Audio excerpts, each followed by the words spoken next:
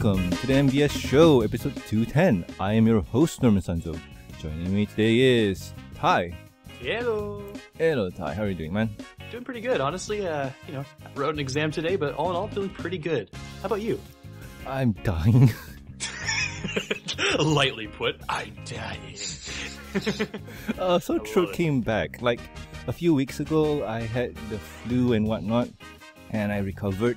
Now I'm hit with a sore throat, and uh, likely I'll be sick, and uh, it's not gonna be fun. Anyway, um, I'll recover and I'll be well. I hope. And also joining us today is Infinity. Bonjour, mon ami. Hello, Infinity. Bonjour. Bonjour. Ça You'll va? be translating for us in the entire show. for all you French viewers. Yes, a big, a big hello to all your French viewers. I mean, I take, I'll take all your French questions if you want. oh, I, I, I'll be sending them to you then. so how are you doing, man? I am good. I am really, um, enjoying my time here in France and I'm really, really liking being part of the Brony community. Awesome, awesome. So for people at home, um, Ty here has been on the show a few times, and Infinity here is a new person. And with every new person who comes onto the show, we have a rule, and that rule is the four important questions. Question number one for you is favorite character. Applejack. Oh my! Applejack blows everything for me. I mean, Take him off the show. there is no rival. There is no rival for Applejack. Applejack is God. That is it. Oh wow! Any reason why? she is the element of honesty, which is the thing that I look for most in most friendships. I love when people are honest to me, um, and I I dislike it when I'm being lied to or people who try to hide behind cameras and you know try and make themselves look you know that they're not exactly what they are. So Applejack, pure honesty, pure element of harmony and everything like this. She's, and, and also she's such a family lover. I mean, she is, I mean, if you look all the episodes with Big Mac and Apple Bloom and Applejack, it's just so lovey-dovey and I'd love to have like, sort of like family relations like that. Uh, It- all right. it's a character you can really look up to, huh? hmm Applejack is one of those characters where she may be boring in terms of what she did in the previous episode. Like, she didn't do much if you think about it. She's just Oh, yeah. there helping and stuff. But she's kind of a family pony. Like, she helps everyone and treats everyone as kin. She's very consistent. I think that's uh, the best way to describe her. Yeah, and that what makes her boring. She's Yeah. too predictable at points. That makes her boring. But you know what? I don't care. I like Applejack. Applejack's awesome. Mhm. But not as awesome as Fluttershy though. Fluttershy Of course, I, this is what we're getting at. Yeah, yeah, yeah. no, Mm. but yeah. Still. I'm not, I'm not going to raise an argument over this podcast. I would, I would have to, I would have to emphasize that Fluttershy is my least favorite. Really? Mm. Oh my goodness. We're gonna have I like, find her, fist I fight find her the most boring. well, I can't blame you. But we all know that Sunset Waifu is the best waifu. Yes. Oh, yeah. Yeah. Of course. Oh yeah. We can all agree on that. Yeah, yeah, yeah. so, favorite episode? Your episode has to be apples to the core. Apples to the core. That one. Oh, oh, no, no, Pinkie Apple Pie. Sorry. Yeah, Pinkie uh, apples to the core is one of my favorite songs, but That's it's in that Pinkie Apple Pie. I love that one. It's just because it's pure apple, pure apple family with Pinkie Pie and, you know, lots of songs. Who doesn't like that? I mean, I'm still d- debating whether I like Crusaders of the Lost Mark as well because that one was just so well written. Mm. But Yeah. um, I'm not too sure. I would say I'd say Pinkie Apple Pie because I'm just a pure Applejack fan. Yeah. You you would love the new comic, uh, Friends Forever issue that stars Pinkie Pie and Granny Smith. Like, go go read that if you want to enjoy Apple Family fun.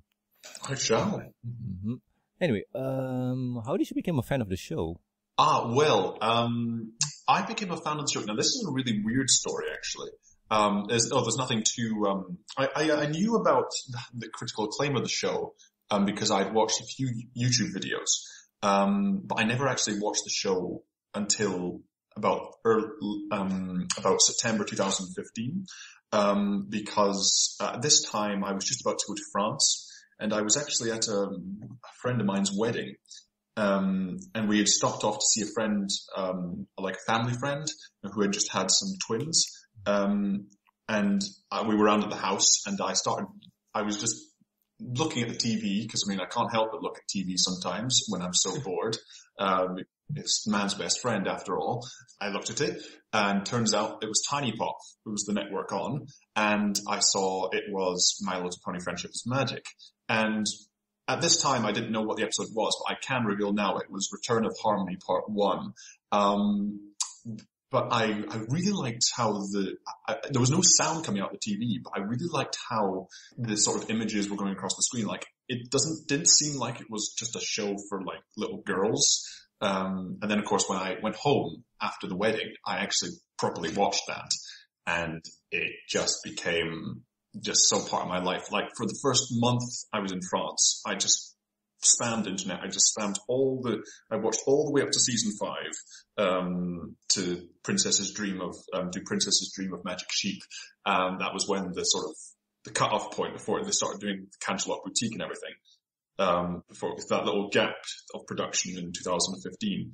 Um, so I was able to catch up and I was also able to experience the sort of tension of the um, Crusaders the Lost Mark as well. Um, but I mean, yeah, that's that's pretty much it in a nutshell. Even if it wasn't really in a nutshell.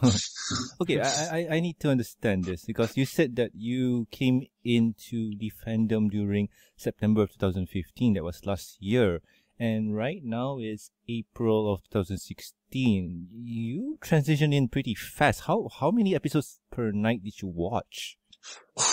well, I watched season one. Uh, I watched. I think I watched the first two and then I watched the first five in, in the first night. No, it's just because in France I had absolutely nothing to do for the first two, like the first week I was really scared, like I was really like, I didn't know what was going to happen because I didn't actually have anywhere to stay for one thing. Like for the first week I was just staying in a hotel until I could find some more suitable accommodation. Uh, and whilst I was in the hotel, all I really did was just stay in the room, use the Wi-Fi and watch My Little Pony all day. Uh, so I managed to, in that whole week, I got two seasons done and then I continued to watch it. Um, so I was, I was about like, I just watched Magical Mystery Cure by the end of that week and then I got on season four and then once I found proper accommodation, it was just a matter of seeing season five. Um, and that was it.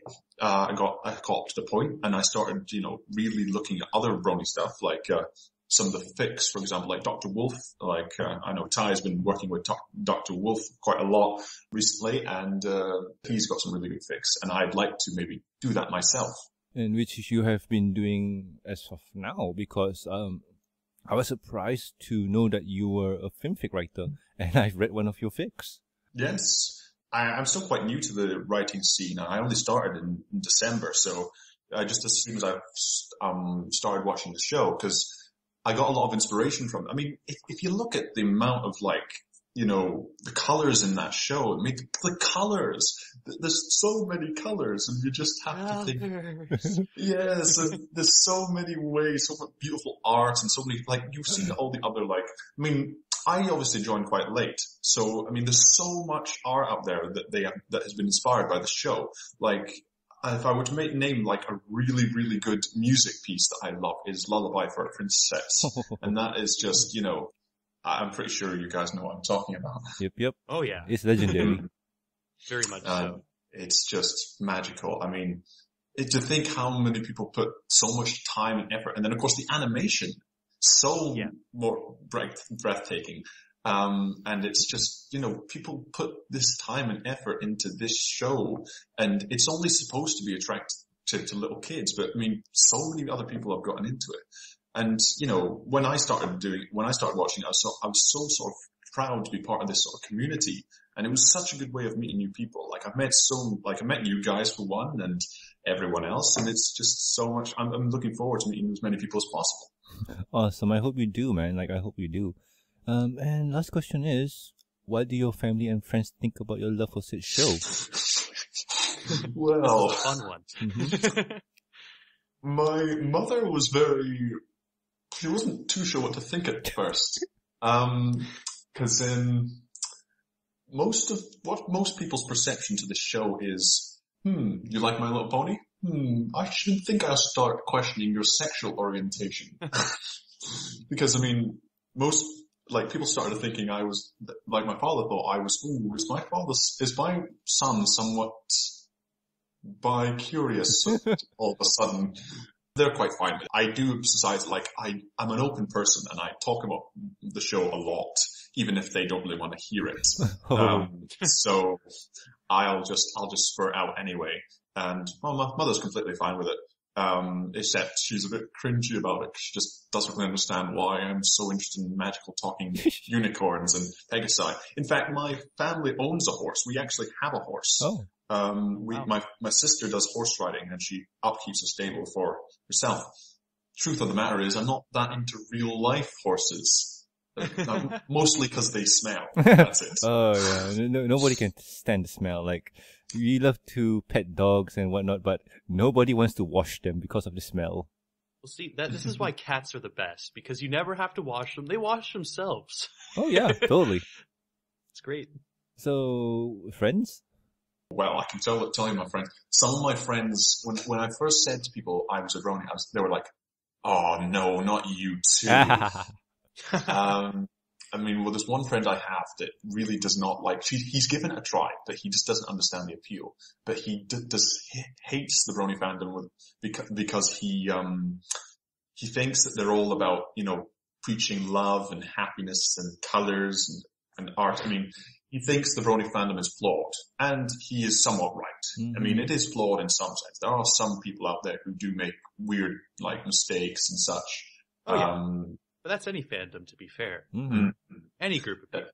But I mean, there's some people that have appealed to it. So people who I didn't know were actually interested in the show, I actually found like, for example, one of my closest friends at the uni, um, liked, um, has been a pegasister for like a year and I didn't even know. Hmm. And as soon as I told her, I was like, oh yeah, what's your, who's your favorite character? Fluttershy. Oh, damn. Um, Not you too. this is what ruins the fandom. Ah, jeez. Still, that's pretty cool. core, man. Well, we, we will have one of those cases where um, friends don't really care, or we have a friend who loves the show too. So, yay! Awesomeness. Well, glad to know that you have someone close by who enjoys the show with you. So, those are the four important questions. Thank you, Infinity, for uh, answering them. Yay. But I was wondering, have you been to a Brony convention? Well, I come from Scotland, so um, the most likely event for me is BronyScot. But Mhm. unfortunately, I, I I was in France at the time when I became a Brony. So I mean, there, I've checked for French cons, but there doesn't seem to be that many. Um, there doesn't seem to be any at all, actually. Um, like the most the most closest ones were the Hearth's Warming Con that was in that Kyle went to, Kyle went to, and uh, there was the uh, the Swiss Con I think sometime in July. But I mean, I'll be back in Scotland by then, so I would have gone to BronyScot if I could have. That was in November last year, so I'm definitely going to go this year. Um, but no, I have not been to a con, and I'd really like to. If I'm not mistaken, there is a French Brony con- Brony convention. I'm, I'm pretty just sure there is, Yeah. yeah. because I do remember Larson going there once. Was it in Germany? I I forgot, but I do remember one being there. I, I just need to look at where. Not sure, but I mean, to be fair with you Europeans, every country's close. Eh, true. to be fair, Ty money's an issue. Yeah, obviously money is a bit of an issue. Like it's one of the things that's, um, for me, for example, it's hampered me from going to conventions just because you need money. But I guess another thing is also time. You know, you have to set aside sometimes a weekend or even like a couple of days, maybe a long weekend or, Mm. you know, it's a lot of time to set away. And especially if you have something like school or a job, you know, you can't always just set that time away. So, um, especially if you have to take a long trip there, it's not just close by. Yeah. And talking about close by, um, it's rare for me to say, but Malaysia will be having its own Brony convention, and it's the Friendship Express. Like last year, we had the Friendship Express around well, uh, February was it? I think, and now we're having it again on the 19th and 20th of November. Uh, So how, how was it then? well, let's just say I had an awesome time. Um, the people who ran the con were, well, previous hosts of the show. They wanted to do something and they did. There you go. And well, here's one thing I can say is that if you have a dream, go for it. it's going to be hard, but once you get it, it'll be worth it. And looking at my friends, Daniel and uh, Charlie, who work hard to make the con happen, it was awesome. Uh, I got to talk to Vincent Tong, who's the voice actor for um, Garble the Dragon, uh, Flash Sentry, Flash, yeah, Flash Sentry, and also got to host an artist panel. Like I was the moderator for it, and I got to sell some swags, and it was fun. Swag. yeah. And this year having it again, it's well, it's good for them, man. Like uh, this year's convention will be held at the um, make space at Quill City Mall. so, uh, I'm guessing that's the location where if you're going, look out for it because I am going and who knows if you are there, come and meet me. I hope you guys can come too. If not, maybe just, I don't know, buy a plane ticket, sneak into a crate or something. well, that's To the thing. Uh, it's a little bit far away, but um, I think that'd be interesting. Now, just a quick question: Hmm. Is this the only convention you know of that's in your area, or is this like, um, or are there a lot of them? Well, if you're talking about in the area, like Yeah. if within the Southeast Asia region, uh, no, not really. But within Malaysia, this is the only one out there. Okay, okay. So, So, yeah, this is kind of like your convention of the year, then I guess, huh? yeah, it's one of those things where I'm I have to come, I have to go there because it's like how do I put this? You if you have um Doctor Wolf or Silver Quill going to BronyCon and whatnot, um the Friendship Express has me. I'm technically a nobody, but well, I'm someone, I guess. In Malaysia, you're a superstar. Yeah. Just imagine you with like the sunglasses, all the cameras flashing, you jump out the limo, red carpet rolled out as you walk into uh, the uh, Quill City Mall. Yep, yep. But still, that's pretty cool though. Yep, yep. Yeah, I mean, it's one of those things where it's going to be fun. And probably I could do a Skype call with you guys and we do something insane. Who knows, right? You never know. When you're at a convention, Indeed. things can go wild. Indeed, indeed. Well, I do hope that you guys can go to a convention soon because the experience of meeting other bronies is awesome. Oh yeah, yeah. Like you, like this is the thing Everything is because awesome. like a lot of us, um, like for example, for us three, for we we live in completely separate parts of the world, so we don't get to actually see each other in real life on a normal basis ever. So these conventions are kind of that opportunity to meet people that you just know online in real life and actually like talk with them and see them and you know enjoy the convention experience with them. It's something that um is a little bit rare, but but it's really nice. So it's uh definitely a good experience. Yes. Have you guys went to any other convention besides the Brony convention, like anime convention? None? None for me. No? Infinity? You too? No? I've never been to a Comic Con or anything like that because I've never seen much interest in it. Uh, also because I, you know, I'm tend to just seclude myself in my room and just play video games all day. Mm, understandable, understandable. Because one of the attractions of going to a convention for me was uh, I went to BuckCon 2014. That was an awesome time. I, I got to meet a lot of friends who I met online, like Ty said. Uh, meeting on meeting people who are online, getting experience of going to a convention and stuff. And I Yeah. got to met, sorry, I got to meet Dave Polsky, a writer for the show. Um, Jim Berrow, who wrote the My Little Pony books, the little novellas, and also Okay. meet Heather Breckel, who's the colorist for the MLP comics. And those Yeah. things are pretty awesome. And unfortunately, BuckCon, well, this year was their last. Well, Hmm. this year coming up, isn't it? No, it w- past. No, it was it was already passed. Yeah, it was Oh, it's already week. passed. Yeah. Mhm. I was thinking of going. sad. yeah, I know. You're saying Infinity? I was thinking of going to uh, Buck, but because of my circumstance, um, because I'm in France, I Mm. was thinking of actually going back to um, going back to Scotland for a while, um, or the UK for a while, because I kind of do miss it um, being in France. I mean, French have their niceties, but you know, it's not like true home. Anyway, back to Brony. I was planning on going to Buck, um, and of course, I had to navigate. I sort of said, "Ooh, do I do I have the money? I, I certainly had the money for it. I just didn't know if it was worth it. Just going to Manchester for like two, um, two days and then having to, um, ship myself back to France. I mean, Yeah. be better if, you know, like I lived, if, if, if I lived, if I was still in Aberdeen, a, a simple train to Manchester wouldn't take too much. So I probably could have gone if I was in Scotland at the time, but I still managed to go back to Scotland anyway and uh, see some people, even if I didn't go to the, the con. But it's one of those situations for you where you have to pick and choose or prioritize. Prior prioritize was it? Pri- prior Prioritize. Yeah, prior- Prioritize, You yes. prioritize what you really need. As for you, you have a responsibility with the family and also going back to France. And also the people at BuckCon, they, they have their priorities to deal with too. And well, this year was a pretty awesome one. They had Peter New, um, Big Mac for, from the show on as a guest. And well, it's one of those cases where, hey, uh, we're going out with a bang and we Yeah. hope that everyone enjoys the experience at BuckCon.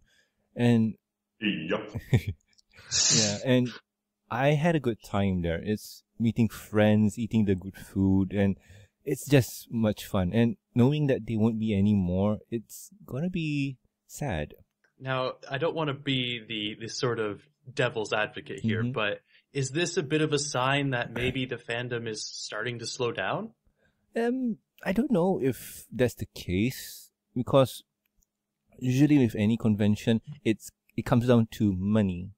hmm with any any project to be exact like money is an issue because Yeah. we have to kind of well invite guests they don't come cheap especially if you're shipping them from the states Oh yeah, like if you're gonna have like some sort of special guest coming in, Mhm. uh, I'm, I'm pretty sure you usually have to pay for their uh, airfare and whatnot. Mm, yeah and more than Um, that more than that actually too like Oh, and, hotels and, yeah, there's other costs as well. But I think um, one thing with Buck, the reason why they sort of they stopped it all, I think because I, remember, I remember reading this a while back.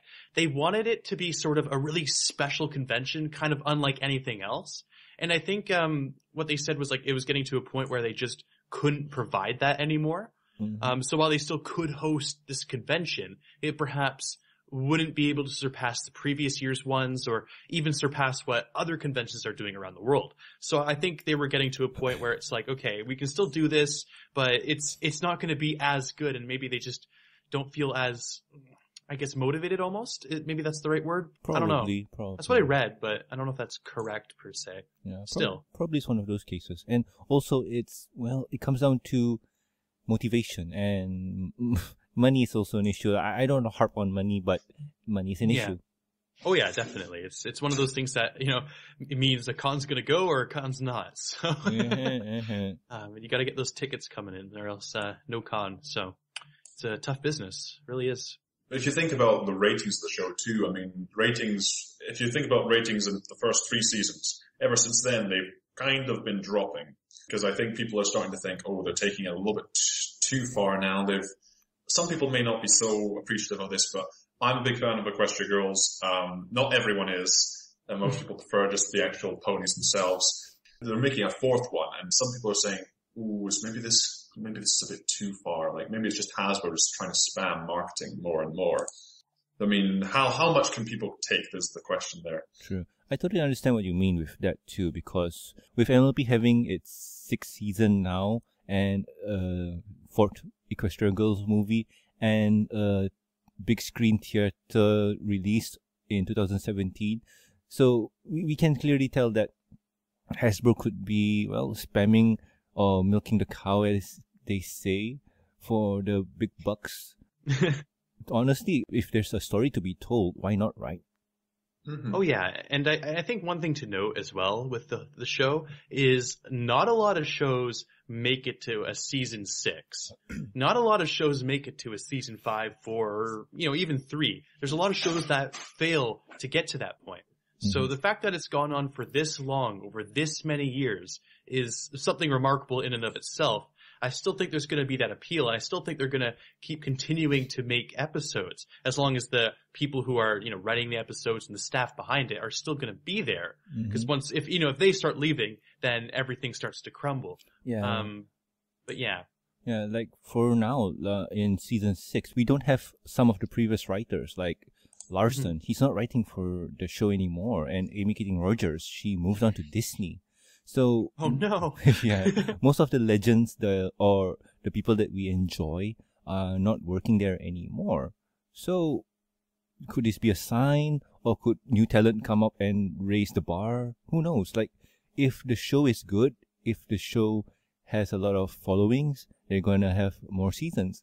But anyway, um, talking about seasons, most from what I heard from fans, they say that Spike is not one of their favorite characters. It's like, Aw. uh, I like yeah, him. yeah. I like him. Yeah. Such potential. Yep. He's such Yeah. potential as a character. I mean, I, I like to imagine sort of, you know, fic, film fictions, and I read a lot of fictions in which you see Spike sort of just grow up a little bit because Mm. he does seem quite insignificant as the dragon, but you'd like to imagine him as being like, you know, the, the sort of masculine, maybe a bit more, because I mean, if you consider the main six, they're all girls. mhm. Spike is the only one really who has the main sort of masculinity in the show. And even that is somewhat. if you see with the apron and the taking cookies and tea, like I think it was, was it the Dragon Quest Yeah, one yeah. where he's like, they're watching the migration and Spike's just serving them with the, the tea and the gown and everything. Yeah. And Rainbow Dash sort of says, oh yeah, Spike. Uh, well, Rainbow Dash was a jerk back then, but still, we get to see him improve more and more. But here's the thing: ha- ha- how many of you guys played the My Little Pony mobile game from Gameloft? Not at all. I don't play uh mobile games. No, but My neither phone is do very I. clean. All right, then. Do you? Well, I used to play it once, like uh, back in the days where it was hackable. How was it? It was. let's just say that it was a game. It's almost like Well, it was a game. yeah, it was a game. It was almost like Farmville and whatnot. But from what I understand right now, people who still play it are having fun with it. And well, back then the game was kind of yeah, it was kind of meh. And guess what? They just added Spike now, So how long has it been out? three or four This years ago. And they've just added Spike. Yes, yes. Uh, I Okay. I feel sad for the little fella. Isn't he a loved character? Oh, wow. oh wow. I got no idea. But Infinity, what do you think, man? Like you, well, you kind of powered through everything. So, what's your opinion on the little fella? Some people do say Spike is best pony, um, just because that, that that's quite funny like that. Um, but I I really like Spike. I would really like to see him being. I, I like to see more of him. I feel that the show doesn't. He only puts them in with, like whenever, whenever Twilight's around, Spike is mostly around. We never see a Yeah. lot of Spike just on his own. If we just had, for example, Dragon Quest was about the only one episodes you see Spike on his own, but even the ponies still follow him. So if there could be something like maybe just something between Twilight and Spike, and that, well, maybe like what was one of the first ones in season one was uh, uh what was it Owl, Owls Well That Ends Well? Yeah, yeah. Or- yeah, where where there's that sort of jealousy between Spike and the the pet. Hmm. Like I, would like to see more of those sorts of episodes because it seems a lot a lot of focus. I think there's a big sort of. I think it's because they try to drive it at the people that where they're getting the most marketing from. So, for example, CMC and sort of you know the main six are just drilling up all the episodes, and even Slice of Life. I mean, that was such a good episode just because it appealed to everyone's like like it appealed to the fandom sort of like ideas of where everyone, you know, was and, you know, Well, it was a nice like thank you letter, Octavia and the, in yes. I don't I mean, Spike as a character is interesting because he can grow. And, well, spoilers, today's episode is all about Spike. Yeah, So- I was about to say actually that, like, and especially this season too, you can start to see that I think they're going to start utilizing his character a little bit more. Obviously, we don't really know just yet, but I think they're going to start using his character. We saw in the season premiere, you know, he was one of the main characters, used quite a bit in that. Mhm. Um, and now I think, yeah, as you said, today's episode, I'm pretty sure is all about him. So I think he's going to get a lot more screen time this season. Mhm. Um, but I think it's obviously a little overdue, frankly. yeah, after six years, come on. The little fella could have gone through a growth spurt. Like, he's still short, for God's sakes. It happens though. Some people just can't grow. Yeah. It's okay. Maybe he will one day. Yeah, yeah. Maybe he's a late bloomer. Who knows? Probably. Oh, yeah. Uh, but I, I had a segue for this, but I kind of messed it up with the new slot. But hey, Katie Cook's no longer working for the comics anymore. hmm Yeah, Yeah. it's a bit of a sad thing, isn't it? It's Mhm. uh, sort of a passing on the torch of a one era to another in a way, isn't it? Mm, yeah. Like for people who don't know who Katie Cook is, Katie Cook is one of the writers for the My Little Pony comics. She was the duo who gave us the return of Queen Chrysalis with Andy Price. Uh, Andy Price was the artist and she was the writer. And well, she has her ups and downs, but most of the comics I've read and enjoy are well written by her. A good example is the micro series featuring Luna. That was an awesome comic that she wrote. And well, uh, according to Katie Cook here, um, the upcoming 42nd issue will be her last comic for a while. Um, she's been doing this for four years now, and she's going to be focusing on her personal projects. She said that uh, her work with MLP was the most positive experience there with working with the people there and with his with her co-worker Andy Price. So she had a good time and well, And that that's one thing that's really good too, the fact that she did have a good time. She's not leaving because there's something really bad that happened. It's because, you know, mm, you know, she's moving on to bigger things perhaps. Maybe this is, you know, just segueing her into something bigger and better. So, mhm, mhm. um, hopefully good luck to her. Yeah, Um, indeed. certainly a big thanks for, uh, making the comics for so long. yeah, Um, and let's just hope that, uh, you know, the quality continues. yep, yep. And here's here's the thing: she's not quitting the position. Um, from what I understand, most of the people who work there are contract workers. So Okay. She could be just saying that, okay, IDW, I have my own things to deal with now, so I'm not renewing my contract as of yet. So I'll be doing my thing. If I need any more work for MLP, you know where to call me and I know where to call you. So, hey, keep my number kind of deal. Oh yeah, there's always the possibility. Um, you know, it's one of those things that you you never truly know. Obviously, it doesn't look, seem like um, she left on bla- uh, bad blood, so uh, we can figure that maybe in the future she might return, Mm. but we we really never know. Yeah. Um, hmm so it's one of those things. Uh, still very very good time. Obviously, with a lot of the comics that she's made, so that's always good. Yeah. Um, Had a unfortunately, they're leaving, but you know, you never know. Maybe Yeah. things will be Mhm. even better. So. Is there any character in the show that uh, that has had previous appearances in the previous seasons, but hasn't appeared a, a lot recently, and so maybe would be someone you'd like, you know, to see again? Well, here's the thing with the series and the comics, they're two different entities. Uh, the comics, they get their lore, lore, lore, lore from the show. But here's an interesting answer for your question. In the comics, we got to see a lot of uh, tertiary characters. For example, we got to see Iron Will, the Flim Flam brothers. Uh, we got to see um, sister, and we got to see a lot more development from the comics for some of the side characters that we won't see in the show. So that's really cool.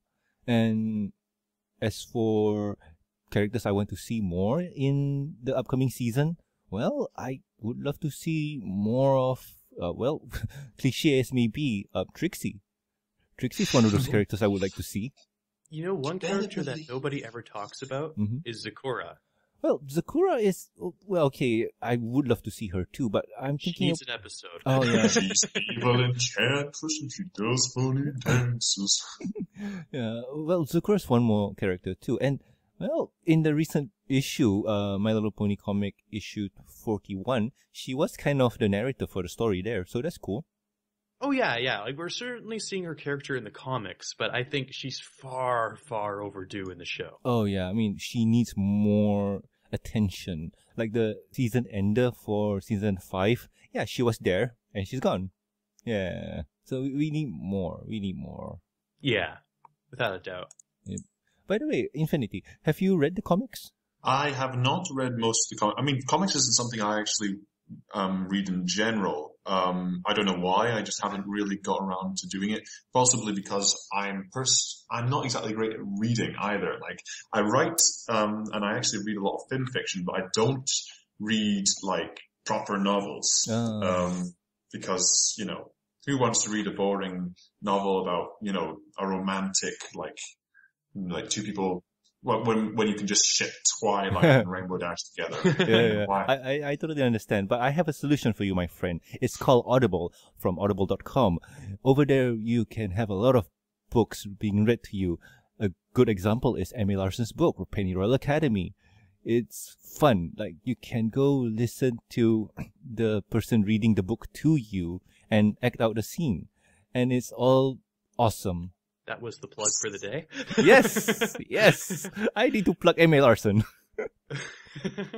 Uh, it's been a while. I love it. It's good. It's good. I like it. Mm.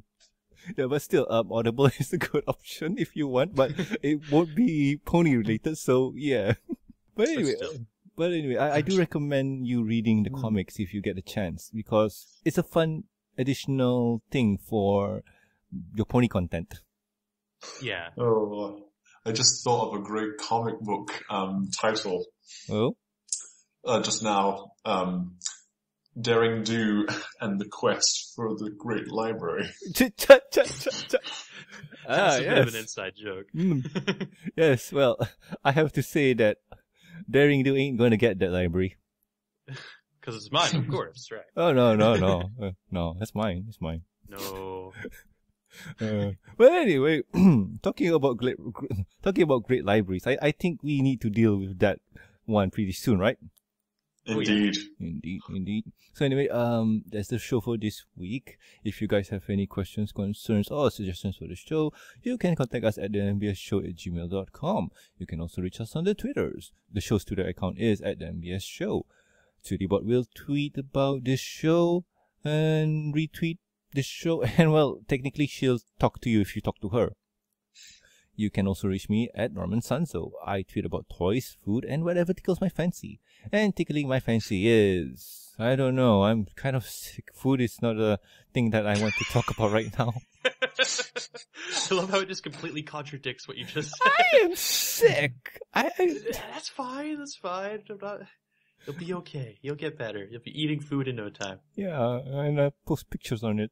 Also, if You you, have the cookies you want. yay, if you're interested, you can also, well, dig or follow me on the Instagram. I do have it, but I don't think that's, well, if you're interested, it's there. Ugh. so, Ty, what about you, man?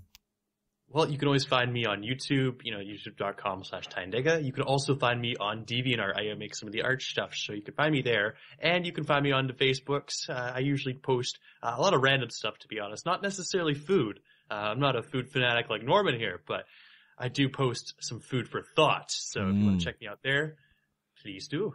I do like that post you did with the textbooks, Thank you. which is true. it's You so go- true.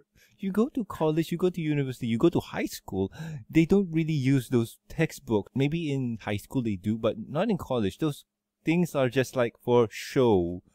Pay hundreds of Oh, yeah. dollars just for those stop. Pretty much. And what about you, Infinity? Uh, well, um, I just got started really, so I don't have that many links, but I mean, I can say I don't tweet for starters. I, I'm not a complete sado, um, who just like has everyone begging on his every whim, Mm. uh, just looking at, um, like keeping up in all his social life. Um, I'll, I, I mean, I got, I've got FimFiction, so FimFiction, uh, Infinite Fiction on Thin, Fi- FimFiction really. Um, pretty much, um, just really on FimFiction. I have a YouTube channel, but I, it's not really set up yet. Um, but it's, it's called The Dawn Fanatic if you want to check it out. So that's the, the Dawn Fanatic Ah, um, because I'm, I love Dawn uh, from Pokemon, Oh. and uh, she has no she has no rival, just like Applejack. And I like I really want to do a fan fiction with Applejack and and Dawn, uh, just because they are so good characters. well, um, there's always the Equestria Girl option. Yes, indeed. Uh, the channel itself doesn't have many. It has some few parody videos. Two, in fact, two parody videos that I have created. Um, but should you want to have a look at that, you can have a look at that in your own time. Alright, then I'll add that to the show notes. And also please subscribe and rate us on iTunes, YouTube, and Stitcher Radio, and also like our Facebook page. You can also catch us on ponyvillelive.com. Uh, links are in the show notes. So I have been Norman Sanzo. I've been uh, Dega, I think. Still working on it. And I have been Infinite Affection. And we'll catch you guys next week with another amazing episode of the MBS show. We'll catch you guys later. See ya. Bonsoir. Bye.